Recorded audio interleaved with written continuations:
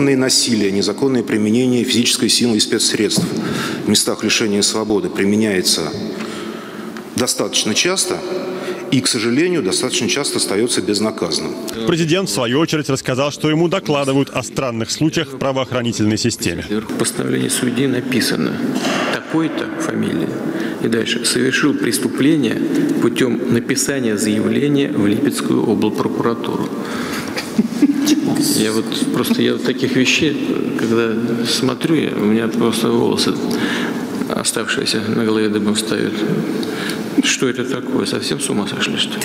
Президент услышал и то, что граждан привлекают к суду за экстремизм, потому что они разместили в интернете сообщение об экологическом митинге или картинку, которая оказывается признана экстремистской. Нас он э, выгил, вербует э, со всей страны. До сих пор стараются уехать там воевать э, на Ближнем Востоке. А, или на, на, собирают людей на массовые, незаконные, явно экстремистские мероприятия, какие-нибудь ксенофобские, там, националистические, какие угодно другие. Но, естественно, под эту сердинку нельзя подводить все, что не попадя.